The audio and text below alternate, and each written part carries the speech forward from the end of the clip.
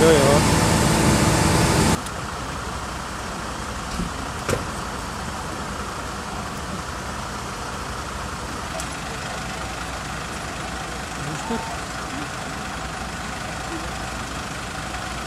Dort liegen aber die zwei Personen mit einem Vermögen von 15 und 17.